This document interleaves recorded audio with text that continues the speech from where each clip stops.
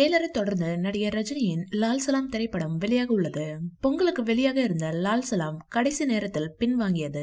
இதனை அடுத்து பிப்ரவரி ஒன்பதாம் தேதி லால் சலாம் ரிலீஸ் ஆகும் என படக்குழு அறிவித்தது. ஐஸ்வர்யா ரஜினிகாந்த் இயக்கியுள்ள இந்த படத்தில் விஷ்ணு விஷால் விக்ராந்த் இருவரும் லீட் கேரக்டரில் நடித்துள்ளனர். சூப்பர் ஸ்டார் ரஜினி மொய்தீன் பாய் என்ற மும்பை டான் கேரக்டரில் கேமியோவாக மட்டுமே நடித்துள்ளார். ஆனாலும் ரஜினியின் கேரக்டர் செம மாசாக இருக்கும் எனவும் அவர் வரும் காட்சிகளில் தெரி மாஸ் சம்பவங்கள் கன்ஃபார்ம் என்றும் சொல்லப்படுகிறது.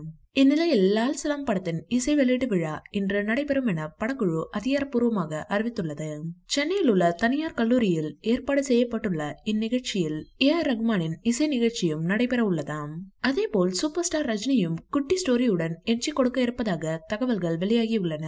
தமிழ் பிரபலங்களுக்கும் லால் சலாம் அழைப்பு விடுக்கப்பட்டுள்ளது. தமிழ் சினிமாவின் முன்னணி நட்சத்திரமான தளபதி விஜய்க்கும் அழைப்பு விடுக்கப்பட்டுள்ளது. எனவே தளபதி வருவாரா என பொறுத்திருந்து பார்ப்போம். இந்த வீடியோ பிடிச்சிருந்தா லைக் பண்ணுங்கள் ஷேர் பண்ணுங்கள் மேலும் விஜய் சார் படித்த தகவல்களுக்கு என் சேனலை சப்ஸ்கிரைப் பண்ணுங்கள்